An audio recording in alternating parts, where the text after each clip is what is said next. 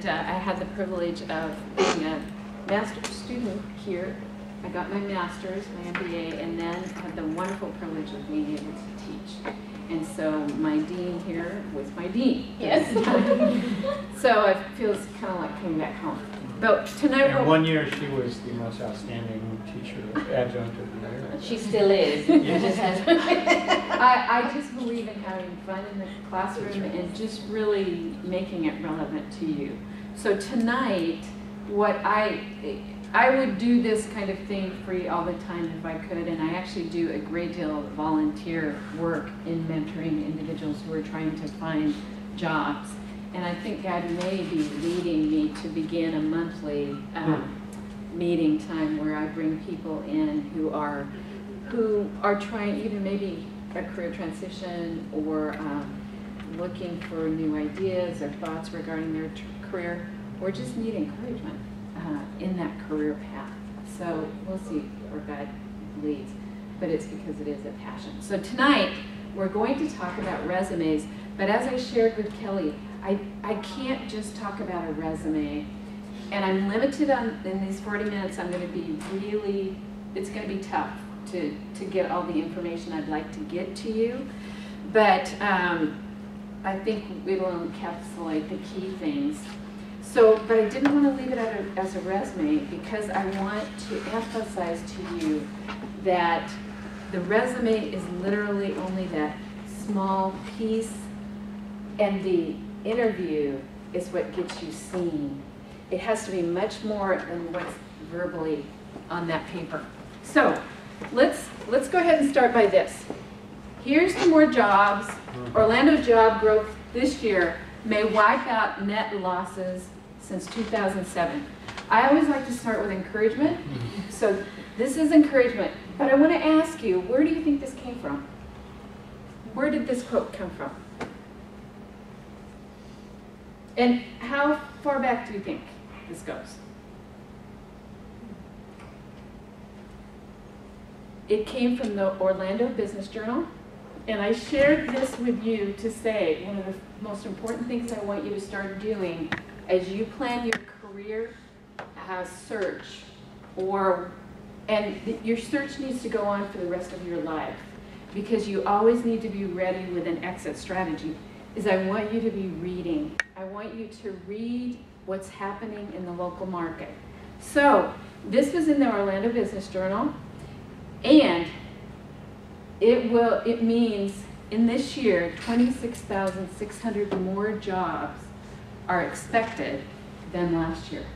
Now that means a job for you. Come on in. That means a job for you. And that's how I want you to think. So, let's talk about this slide because this slide tells us where those jobs will be. That's the other piece of, the, of your resume writing is you want to be sure that the resume, that what you are looking for in your resume is going to get you the job. So to go into an industry that has jobs that are non-existent isn't wise. So let's talk. Where, do you, where are these jobs up on the top? Health. Healthcare. Okay, and healthcare. What do you think of? Let's. Okay, nursing, we always hear nursing. Absolutely. But what about other jobs? What other jobs do you think might be in healthcare that are growing? X-rays? Very good. Huge need.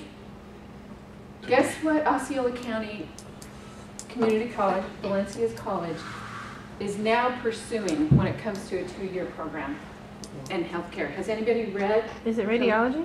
No? Well, radiology is at the West Campus, but Osceola is looking at biomedical engineering Oh. two-year program. So, so this healthcare piece right here involves a lot of different jobs and a lot of different areas that you could focus on. Okay, what about the next top one? Technology. Technology. Tell me a little bit about technology. That could do with everything from, uh, from computers to, um, Research. yeah, exactly. How about technology manufacturing? Right now, there's an incredible focus on manufacturing all across the United States. And there's a huge focus here in Florida on manufacturing. We have large groups of organizations that are looking at Florida to create the skill sets for their manufacturing jobs. And many of those jobs only require two-year programs, a year program. If you're gonna move up and go into the leadership side of it, then you're gonna want to get your degree, your BA, your master's. Okay, what about this one here? Who can tell me what that job is? Uh, Well, that's, that's a welder. It's obvious, right? Welder. Who can tell me what the average salary for a welder is? I know it's, it's, it's up there. Above fifty? Really? I'd say over a hundred.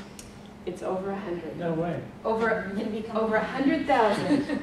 And right now, there is a manufacturer, do you know what the recumbent bikes are? Have you ever seen those? Where you're sitting in them? And if you ever ride the West Orange Trail, that, they have a recumbent bike manufacturer called Cat Catrike out of Winter Garden. And they are international. They're, they have won numerous awards. And when I visited their plant recently, the owner, who is from Brazil, he's an engineering um, guru from Brazil, said, I cannot find good welders. And yet the welding is absolutely key to the quality of their product. So, this also represents construction. Construction is, is on, scheduled to increase by 10% in this next year. And this is from 2013 to 2016 that I'm talking about when it's the percentages. But in this year, there will be 26,600 jobs. What about the no vacancy? Hospitality. Hospitality. Who's it? Hi, and your name is? Kathy. Hi, Kathy. Hi. Yes. Hospitality. What does hospitality entail? hotels, management. Too many times people look at hotels or hospitality and they say, oh, that's all entry level. You're gonna be, you know, a housekeeper, you're going to, it's not what I might be interested in. I want you to think, rethink that if you're at all interested in management and if you're at all interested in people and if you have a bent that way, because the reality is those jobs are, are growing and they're growing dramatically. And right now, hotels are fighting over staff. Just what the Waldorf Astoria and Bonnet Creek, which is down in Disney, they currently have over a hundred openings, but they're competing with all the other hotels. And so it's, it's getting very tough for them. So, okay, so then, think about this as you consider pursuing your job future. So tonight, today, we're going to start with your history. And your history is your resume. It's at, it's what you've done. It's your history. Your future is that getting the interview. And that getting the interview is critical. And then we'll just finalize with a summary. So let's start with your resume, and your history. I'll read this out loud. You may need two, three, even four different resumes to fit your specific job skills. Why did I say that? Because you have to customize each resume for each job, depending on what they're looking for. Okay, but what's another reason? That's exactly, they have to be customized. Because of your skill, your past experience. So you're trying to get into a market and you're gonna have to redo your resume every time you need to focus on certain areas. Exactly. But what do you often have to do when you apply for a job? You have to apply online, right? Even if you have your resume, they will often say, I want you to apply online. And what's going to happen once that resume is online? How are they going to rule you in or out? Keywords. That's exactly right. It's going to be the key words in your resume. And you know, probably 10 years ago, we saw this moving in that direction. it is even more powerful now that if you see a job that you really want to have, try and get the job description for that job. For sure have the ad right next to you as you're creating your resume. Because every word that's in that job uh, ad should somehow be in your resume. However you want to include that. Okay, so let's start out with your history and talk about the key components of a good resume. In the old, it, I shouldn't say the old days. The objective was often the, the term that was used years ago when you were writing a resume. It was usually one, two sentences at the most. Now what we're talking about is a profile and objective. So, because the objective is in there, but it's a profile. So I want you to take a look at your folders and I want you to pull out, you're going to see one with the name William Burton.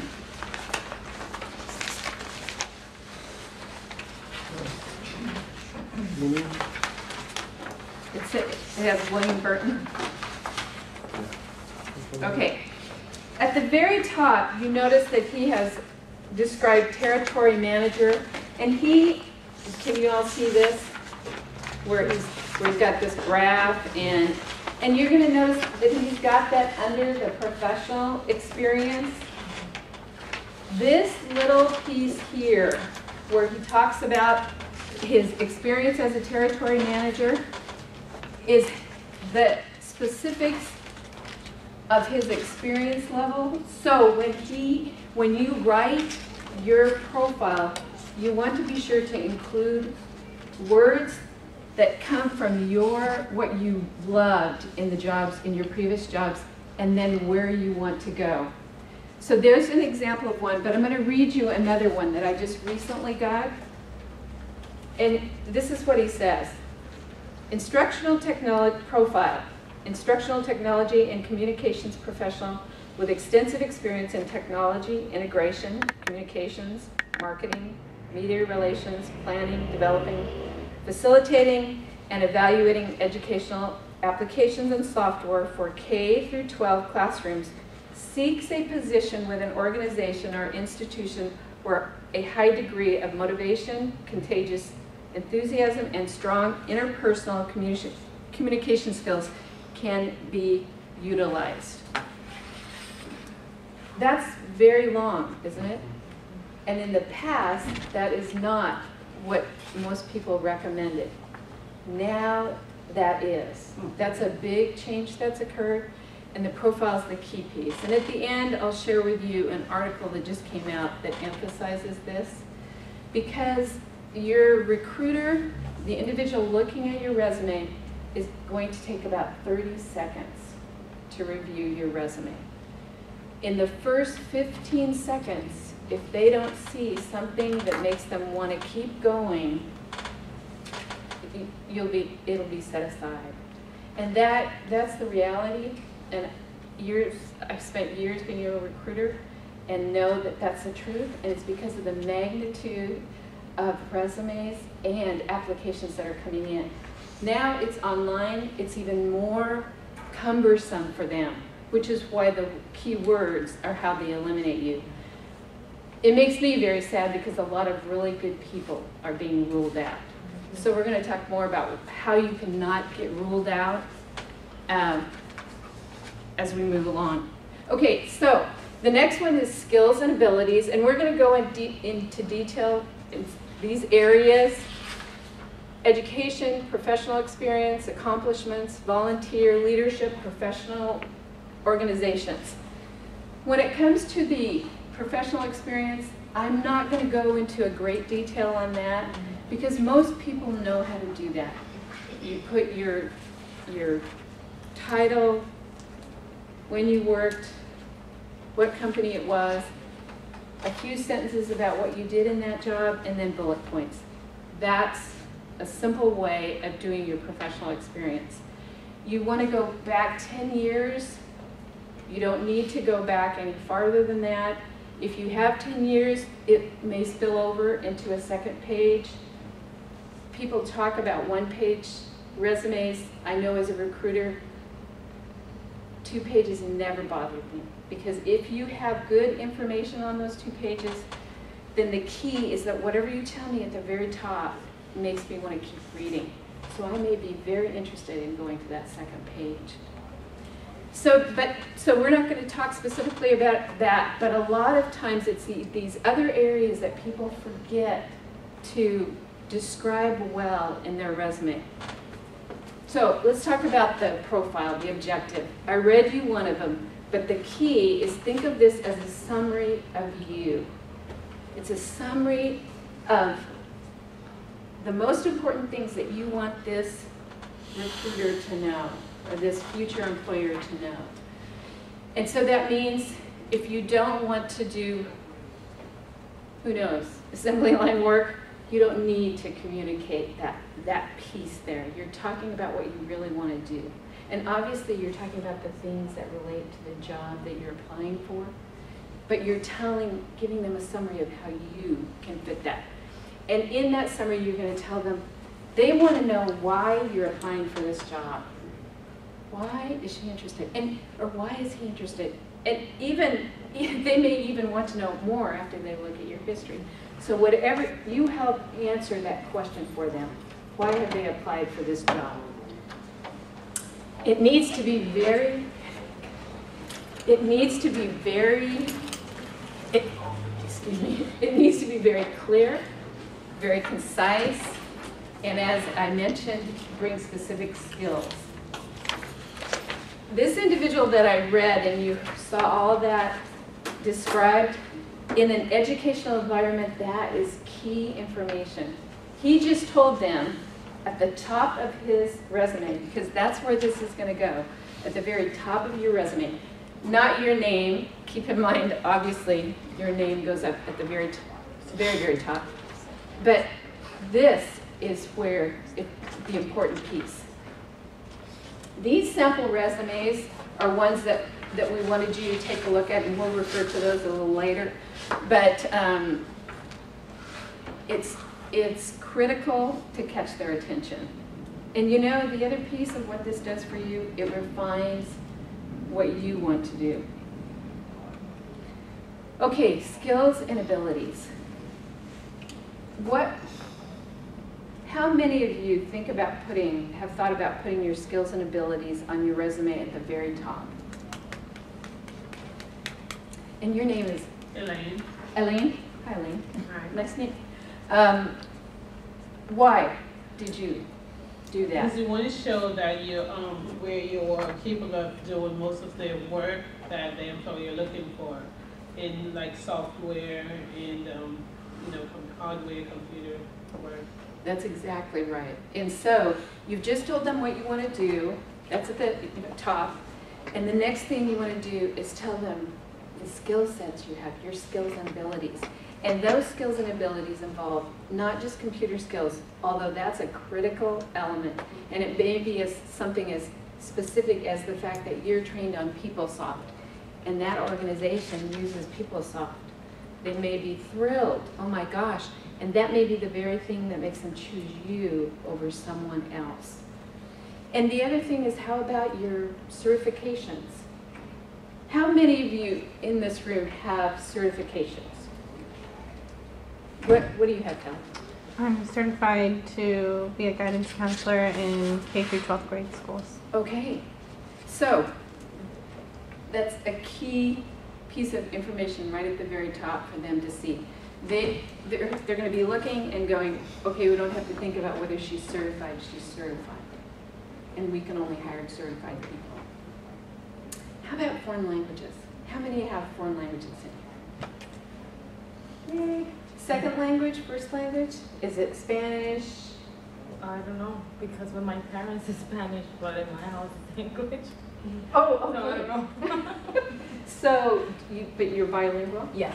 And see, huge, huge opportunities that can rule you in and somebody else out. So if you tell them right away, I have it.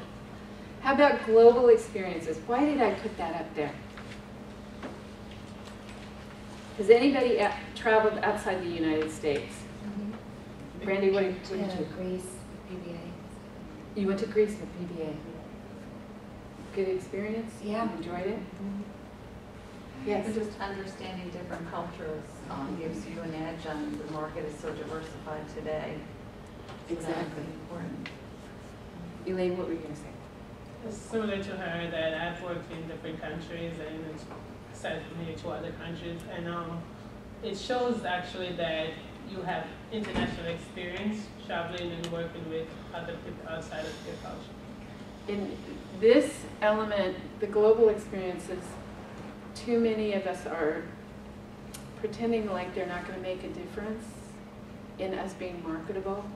We think we'll be able to remain in the US and um, have this encapsulized, these opportunities, but you are up against other individuals coming from other countries who are applying for the jobs that you're applying for. And their experience may be something that rules them in versus and you out. So this is, this just makes a huge difference. What about this specific machinery?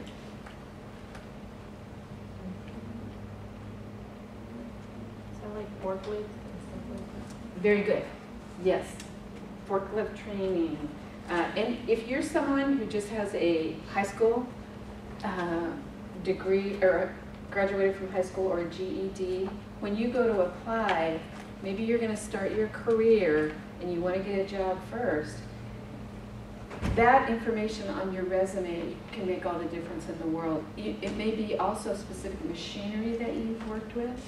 It may be that you don't have a, a bachelor's or a master's, but you know how to use CAD, which is that architectural development uh, uh, software. Right now, one of the most powerful software programs is Revit, which is used in the building and construction industry. And so if somebody had that on their resume, they, they would be looked at right away. Now, what about the job-related expertise?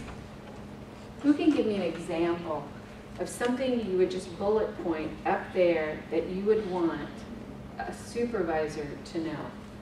Ben? Um, well, the majority of companies uh, focus on customer service and working with different customers. So that would be a, a one that would, an organization too would be uh, key. And You're absolutely right. So how would you say something that was more interesting than just customer service? How could you make it stand out? I'm Passionate about people. Passionate about people? Or you could say you were the number one customer service, Oh, one number one customer service rep. Um, There are all kinds of specifics you could say, but if you can give it a little bit more than just the customer service, that's important. What about if you applied at a technology company and you could share on there, uh, I was the project, project manager for transition to new software program. hmm. Immediately, you have just told them you are a leader, you are good with people, you make things happen, and you did it in just those few words. So think of, think of that when it comes to skills and abilities. Now, the next, when we get to accomplishments, that's going to be a little bit different. Okay, so now we're going to talk about your education. I, I want you to know right away that I left high school on there. Most of you getting your bachelor's and master's degree will not need to put high school on there. But if I was talking with any, any group that, of young people that wanted to move into manufacturing, I would want them, and they're starting their career, I would want them to have high school.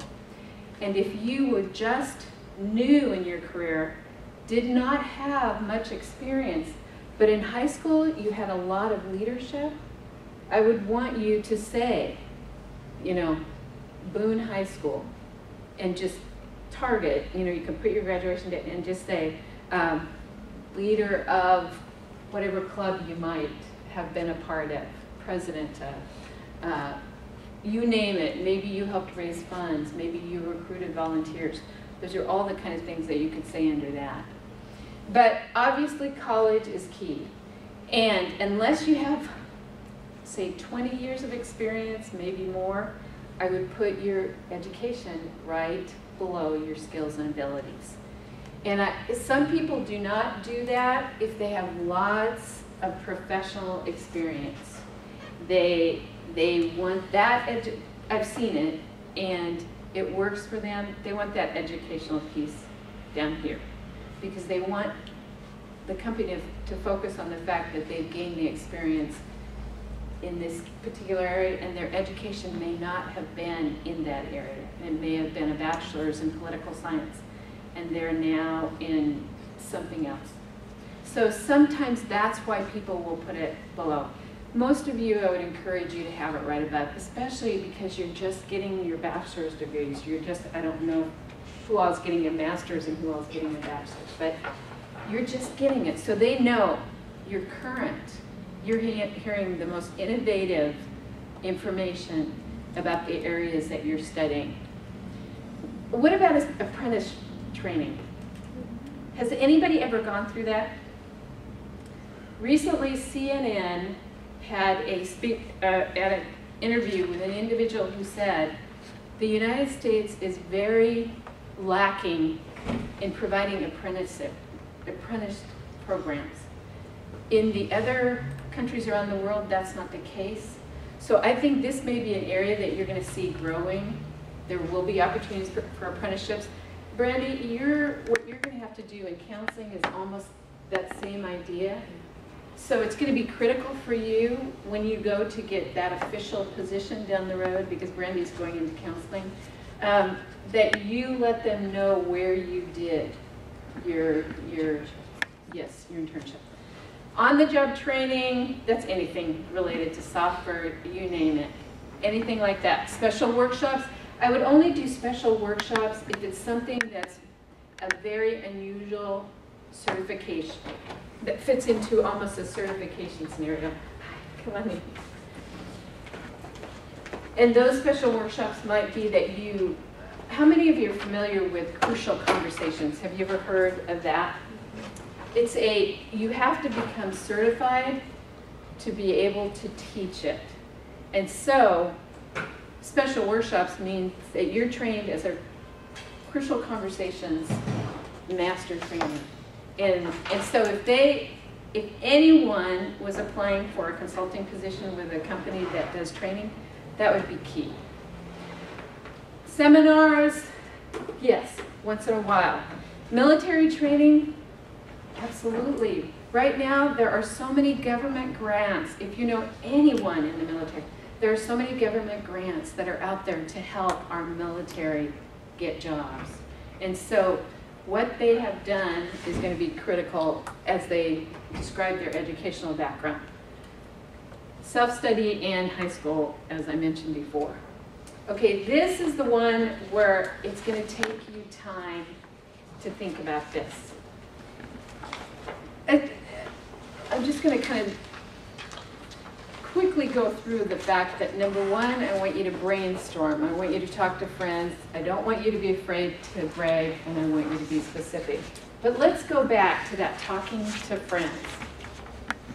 Who, is there anyone here in the room who had an experience where they were going to create their resume or apply for a job, and you said to yourself, oh my gosh, you know, I can't apply for that. I don't have that experience. Have you ever done that and said, sat with a friend and go, I don't know exactly where to start? Okay, who, who can give me an example of a time when you felt frustrated trying to write down your accomplishments for a resume?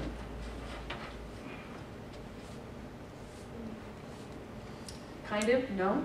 Okay, well, this is what I, I want to encourage you to do.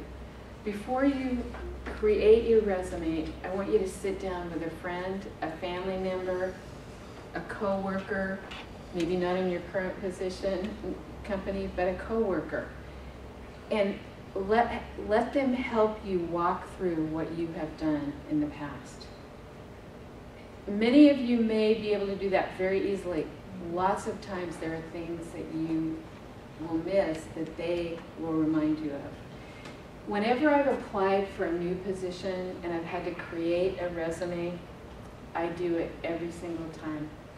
I sit and say, okay, this is what I think I did in this job.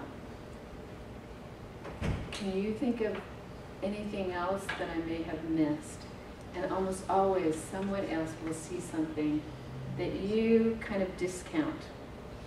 You, you discount it because we don't typically brag about ourselves. We don't typically think about how wonderful we are. And so we need help with that. and this is the time that you do get to brag. So being specific, who can give me an example of a specific, a, a way to communicate specific on an accomplishment? Well, um, I designed and created a training module for Nemours Children's Clinic. I was their first customer service training coordinator, and everybody in that clinic, surgeons, physicians, nurses, administrators have to go to that class. So it's something that I'm proud of because I was first. Exactly. so that's something I'm very proud of. So I, I put that in my resume. And that's exactly what I'm talking about, is something that really causes you to stand out. Other people were involved in using it. What about on a number side? What if you were a uh, business manager of an outpatient clinic you wanted to move on to a new either clinic or a hospital and you were going to have a profit center.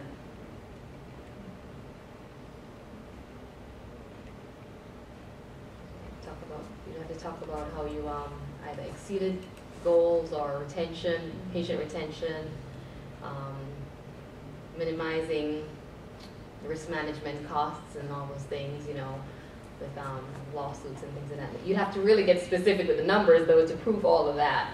You have to be extremely specific. And so one of the things I don't get to talk to you about tonight, but I'd love to talk with you about at some point, is creating a career portfolio.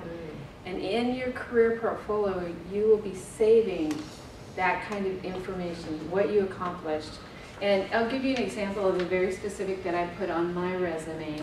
Um, after I had been in healthcare administration, and I, at someday I may get to share my background, but just suffice to say that I started in human resources and had been in management, healthcare administration, and numerous.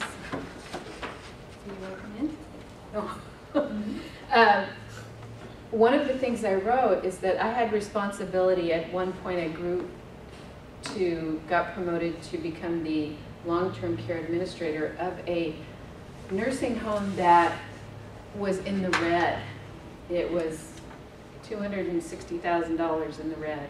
And so, and they were using sixty to $80,000 a month of temporary agency labor. That was actually just killing the facility for a whole number of reasons, from the fact that when you have a temporary person in a facility over a long period of time, it's very hard for the residents to gain trust and get comfortable. And so, in my resume, I wrote that I eliminated the temporary agency uh, expense and brought that facility to profitability. And I did that at the same time that I raised the salaries of the employees, increased their benefits, and increased their vacation time. So when you do that, a company says, when they see that as your accomplishment, they go, wow. Now, do I go around telling people I did that? No, I don't even like to talk about myself that way. But on a resume, yes, I do. And that is something I was very excited about. And that was just a few of the accomplishments during that time. I have many, many fond memories. So what I would like you guys to do is think right now, and I just want you to take a minute, and this may be hard work, it may be very easy for some of you. I want you to write one accomplishment that you would be very proud to put on your resume. Very proud. And think of it either as an accomplishment specific to the job that you want or just an accomplishment. I'm not going to require that it be the future job that you want.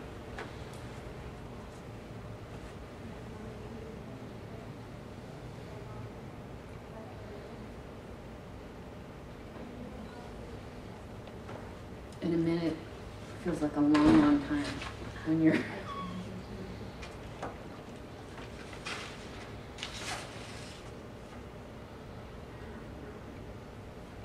And remember as you're writing, think of dates, time frames, dollars, awards, recognition.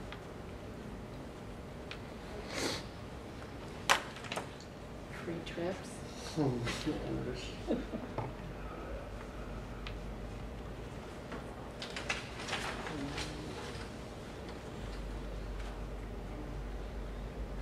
Okay. We have about ten more seconds. Yeah, try to keep that one in. That's good. All right, I'm going to ask for a volunteer. If one of you would go ahead and share what you came up with. Ben, Well, um, this is something I didn't even realize it until it happened, but I was the first one of my generation to actually obtain my associate's degree in my family. that's huge. So, That is huge. The, the stories are wonderful about that. hmm, I was the first one in my family to get a bachelor's degree, and so there's a lot behind that. Yes, I was the other first Ben. one- Yeah, the other Ben. I was the first one in my family to graduate from high school, actually. Hmm. And now I'm just finishing up my master's. There it is. Okay, who, who else has one they would be willing to share? Um, Is. Kathy, there? Yes, in a startup company, um, um, I implemented a new sales training, um, um, for the, for a position and I received Employee of the Year. That's beautiful. That's a beautiful one, isn't it? That's cool. That's great. Very exciting. Yes, that's what you get to put on your resume. Yes, Ben. I also managed to save one company I worked for. This was when I was really, I mean, I was young.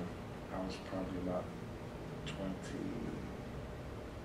25, 26. I Managed to save the department I was working for $20,000 a year.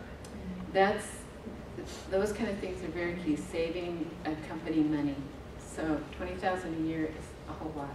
You may have had a new idea that saved the company a lot of money. Brandy, did you have an idea you? Yeah, well, this is where I struggle because I don't know where, if this should go under like education or under accomplishments, but I was outstanding graduate for my bachelor's program. So I don't know if that, like I usually put it under, I would put that under accomplishments for sure. okay. Uh, Uh, uh, definitely, because it, you're, you're pulling up the fact that you literally were recognized in your, in an unusual way in your educational background. So that's where I would put it. And say, tell me again, you were that, Outstanding graduate for like the ministry department for undergrad PBA main campus, so, that's great. yeah, Yes. I never know where to put that. That's great. Do you, do you know that, I'm- and you guys may have seen my bio, it was very difficult for me, and my bio was created by someone else because I work for Valencia College. I'm a performance consultant for Valencia College right now. And they said, Elena, we have to create a bio for you, and so I had to go get my picture taken. And they took it from my resume. Well, I have on there that I was PBA Rookie Faculty of the Year and, and then Faculty of the Year. That was really hard for me to put down, but it meant so much to me and is key when it comes to some of the work that I do. And, and when we send my bio out, it becomes an important element. So, yes. Okay, any other questions about being specific? So do you guys, can I just get a, a sense, is it hard to do this part? is it hard to sit down and write those accomplishments? How many of you have, a- can honestly say this is one of the hard things? Will you raise your hand? That's what I, when I ask that question, almost every, this is exactly what I get in a class. And that's why I say it's really good if you can sit with family members and friends and colleagues because they will help rally you and they will go, they're your cheerleader when you can't be. Okay, now, volunteer and professionalism. These are also two areas that now organizations are really looking at. And they can tell a huge story about who you are. So when it comes to the volunteer side, it's outline your key volunteer activities. I mean, do you go and build Habitat for Humanity uh, houses? Or do you, uh, do you volunteer for a homeless shelter? What do you do that says to an organization that you give back and you're not just self-centered? Because that's what they're looking at now. Is this person all about themselves or are they actually thinking about the community? And then, when you do that, plug in those leadership positions. Because many times in your volunteer organizations, you've had leadership positions that you couldn't get in your job. You didn't get to do because you weren't in charge. But if you were in charge of coordinating a huge event for a volunteer organization, or if you raised funds, or if you recruited volunteers, they, they are looking and they're going, okay, this, this, this tells me a whole lot about the interpersonal skills, this tells me about the resourcefulness, this tells me about the, the really, the fact that this person may have a level of enthusiasm and energy that we're going to love. And when it comes to the prof- professional organizations, this tells them that you're you are wanting to continue to grow yourself as a professional. And how many of you belong to a professional organization right now associated with a job that either you've had or you're going to have? Kathy? Um, the Orlando Regional, um, Brokers Association, Okay. and MLS Listing Association. Okay, and what, what, why is that important to you? Um, well, I paid a lot of money to belong to. It's true, many of them are, can be very expensive. It's very expensive, yes. Um, but it shows that I am part of a professional organization, um, that is held to a standard in the real estate business. Automatically, right? And what's the first thing that happens when you think about a realtor? There are many people that automatically say, like a contractor, can't trust them, might scam me, etc.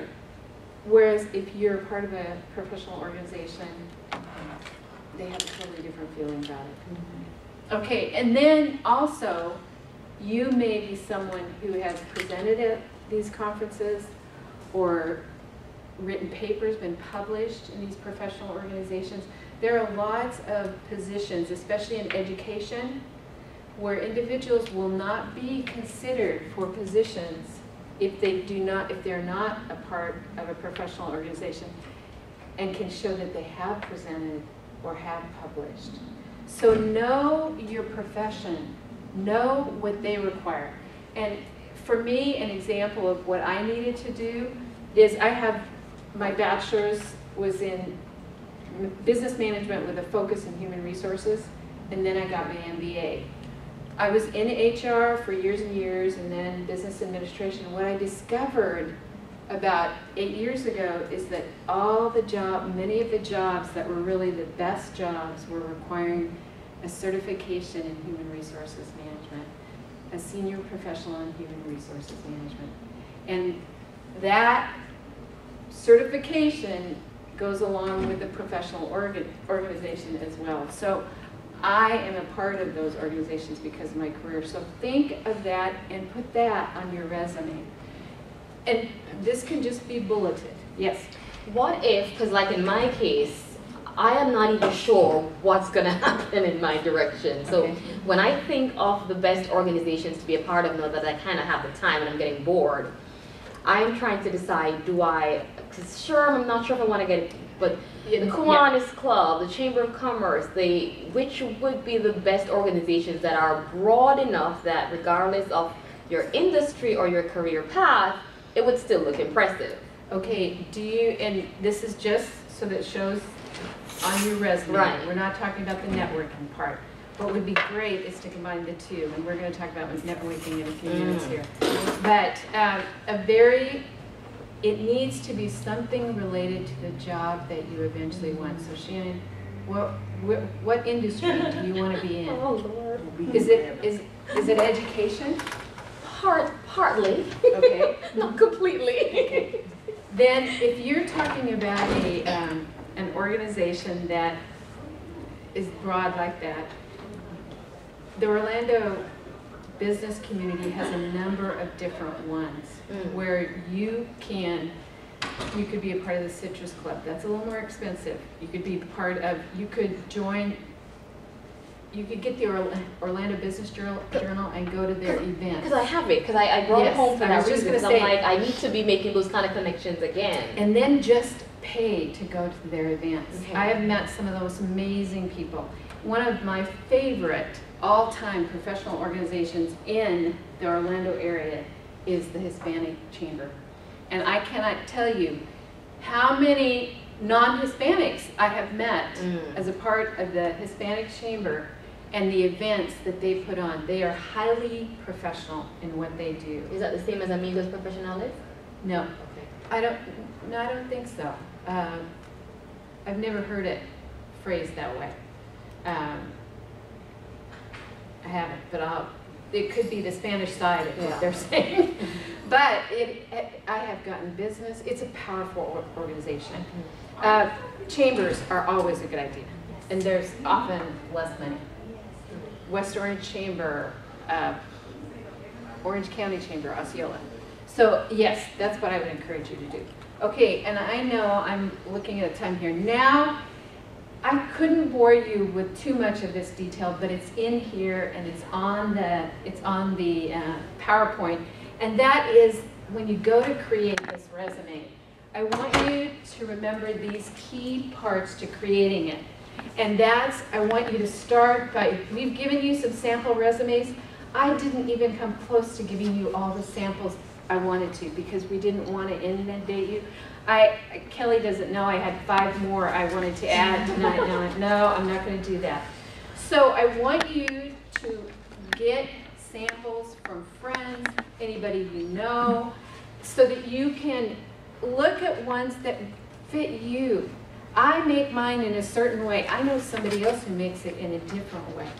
But this is who I am. And the key part is that it's visually clear, that it's concise, that it has all the information, that my eye likes to look at it.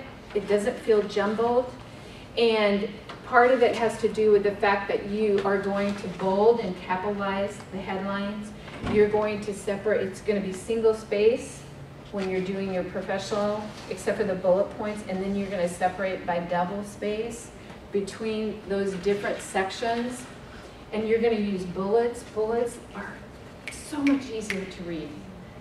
Don't give me a ton of mm-hmm. verbiage. And you're going to see some of those resumes have done that. So keep in mind, those are not our favorite resumes. These are some samples, but they're in there to tell you, I want you to, I want you to search out more samples. Um, don't exaggerate. Don't, don't exaggerate, please. You need to live historically with every resume you've ever written. Don't exaggerate. And I know people who have been fired because they exaggerate. So don't, don't do that. And use keywords. I, I encourage you to go to Monster, to Career Builder, to Indeed.com, to any of these websites where there are jobs listed and read the job descriptions. Read them and use the key phrases. Don't just use it from your head. Go and read it. That is honestly how I found out I needed to get my certification in human resources management. And I went back, and I promise you, it wasn't my favorite thing in the world to do. it's a four-hour test, and there are only about 60% of the people that pass it. I was scared to death, but I knew I needed to do that. And so, so, but I learned that by going to monster.com. I learned about my the changes in my profession. Okay, use don't use anything super super colorful, just basic, off-white, one inch margin so that you've got plenty of room to put everything that you need in there, not fancy fonts.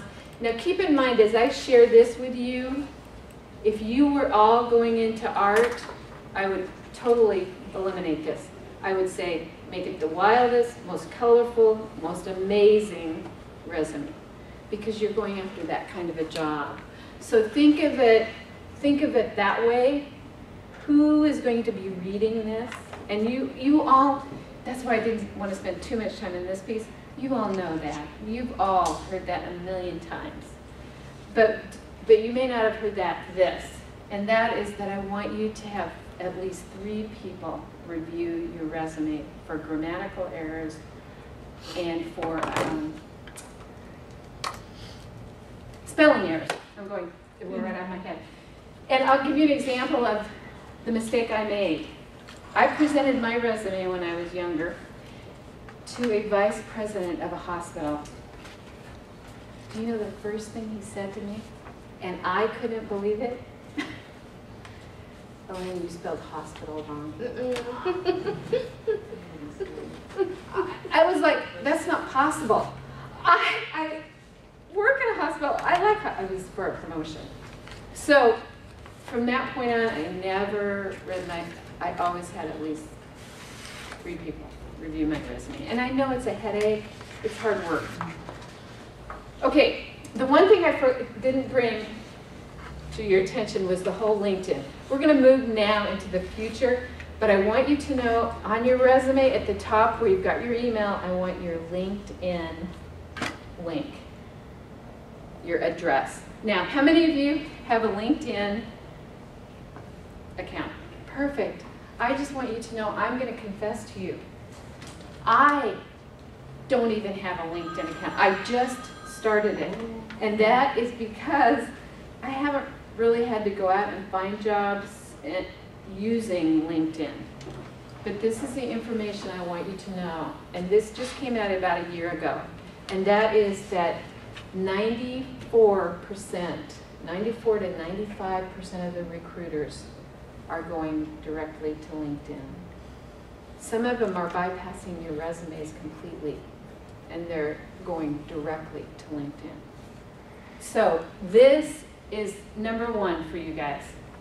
Resume, LinkedIn account.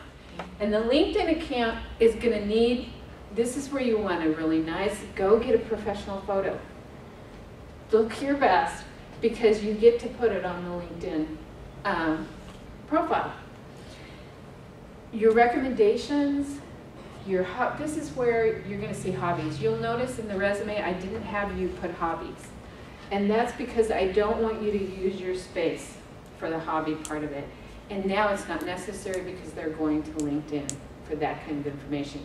There are there are groups in LinkedIn as well, and those groups can connect you to people who may go, "Oh, I oh, you're out there looking for a job." You may be able to tell them. And keep in mind, obviously, if you're working in a current job, you're going to need to be careful with your private setting, privacy settings, etc. But this is key. And in there, you also will be able to put your accomplishments and maybe share your interests about which ones you want, where you want to go. So the groups might involve training individuals who are training directors in companies. Very, very important. So I would tell you in a week, go get a LinkedIn account, but some of you are in the middle of school, and if you're not looking for a job, you don't need to worry about it right now. Okay, so this is your future, is getting the interview, because you have to be seen. You have to go past all that verbiage, and they have to see you. So then, what's the other key, these, these are the two key things I can tell you. Because link, let me come, let me come back to, we'll get to this in a minute. LinkedIn is what they use to find qualified applicants. How do you think they use Facebook? So To get rid of them. that's exactly right, Kathy. That is exactly. Mm-hmm. They, they go to LinkedIn, they look and see if you have the experience, then they go and check your Facebook. And they eliminate you. And they really, really do. And are there legal ramifications to this? Yes. But right now, this is exactly where it's going. So it's happening, and until there are lots of different lawsuits with people saying, you can't not consider me because of my Facebook, it's gonna continue this way. So in your job market, that's what, that's what's gonna be needed. Okay, now, getting the interview. And this is network, network, network. I would have said it three times, but there, I didn't have enough room. I, I can tell you my own opinion, and that is that you will not get a job twenty percent of the time if you do not network. Because the individuals that network, eighty percent of the time, they get a job. Mm-hmm. And they get a job that they like. And so how do you network? One of the things that I put in the, that uh, Kelly added to your portfolio was just a more detailed list of how to network. The first time I ever heard the word network, I was like, I can't do that. That's too scary. I'm uncomfortable meeting, meeting people I don't know. I want you to, number one, tell yourself I'm not afraid of networking. Number two, networking is just going to an event or talking to a friend and just talking. You do not need to worry about the fact that, okay, I'm going to network and this could all just fall apart. That's not, that's not what it's about. It's you connecting with somebody else who may have the same interest you have. Mm-hmm. They may not, but you've just talked with them and they may know somebody who does. I promise you that every single one of those examples of networking, I have seen people get jobs for those, just for doing that particular thing. So, talk to your friends, family, colleagues, volunteering. I know of somebody, my husband, right, I can tell you right now, my husband got a job because he volunteered for an organization. He changed his career, did not have the experience, offered to volunteer for 10 hours a week, was offered a job and then within a year, less than a year. Joining professional organizations, as I talked about. I, I'm a part of a professional organization right now that's a training organization. It's called the Greater Orlando Organizational, I don't know all the details, it's called GOOD. And every one of those meetings, at the end of the meetings, they say, okay, will everyone stand up who's looking for a job? Tell us about yourself. Okay, will all the companies who are looking for someone stand up and tell us what you're looking for? I watched two hmm. people, a company and an individual, get connected at that, at that meeting. So that, those are powerful. Employment agencies are huge from this perspective. They get you in front of the employer. So if you're, if you've tried everything and you're frustrated and you still can't seem to get through the door, be willing to go to an agency and see if you can get in, get a temporary position working at the company that you want to. Be targeted when you do this part. If you want to work for Disney, then find out what the temporary jobs are at Disney. If you want to work for Orlando Health, look at those. And then school resources, and I use those because there are all kinds of career centers and, and there are professors, previous professors. Do you know that the job I have today as a performance consultant came through a referral from one of my professors here at PBA. He said, Elena, there's a job that I think you'd be great for. I want you to go apply for it. I've already talked to them about you. And I, of course, I had to go through the whole interview process and everybody else that was applying for the position and there was competition. But that's why I have this job. I didn't even know the job was available. And so it's, and, and it's an incredible organization. Lots of wonderful things. So network, network. Now, the last thing I'm gonna leave you, leave you with is a summary, but I'm gonna, that's not the very last thing, but here it is. Your resume is your historical calling card. Talk to others before you do it. Take time to do a good job. It's really frustrating to do resumes. People hate to do resumes. And then create more than one. LinkedIn and networking. Okay, this is the last thing, and that's this. I'll come to questions in a minute. This was the other article that was in the Orlando Business Journal. I'm just going to read it, it's very, very short. Networking critical to landing a job. This was just, this article came out just in January, January, their, their edition, January 13th through the 31st. Matt Durfee's job is to help others find work. The founder of the Orlando-based Navigator Institute specializes in helping job candidates put their best before a potential employer. Here are his tips on how job candidate, candidates stand out. I want you to know that before I even read this article, those are all the things I had already put in there. So he just affirmed it. Have a clear, concise summary on your resume. Summarize what type of job you're looking for and what skills you bring to the table. Recruiters have only a few seconds for each resume. He says only a few. Um, before going on to the next one, so you have to capture their attention. Think of it as a billboard on a highway. Second, have an impressive LinkedIn profile. This is the first place a recruiter will go when sufficiently impressed by a resume. Well, I've had recruiters say they go there first before they even look at resumes. Have a professional photo, solicit coworkers and colleagues to provide a recommendation or testimonial, and include items not on your resume such as interests, accomplishments, hobbies to show you're well-rounded. Networking is critical. Never quit networking. Those who don't network because they feel their job is secure are putting themselves at risk. They find themselves without a job. Reaching out to other people is a way to find out about job openings or get recommended for a job. So in this market, I wholeheartedly believe if you are extremely frustrated and, and can't seem to find the job you want, you will find it if you network. Mm-hmm. And use those different avenues I talked about. Are there any questions? Thank you so much for your time. Thank you for coming, for taking the time to come. And please gather my information. If any of you have further questions that you want to talk about, I'd be very happy to, to engage in a conversation with you.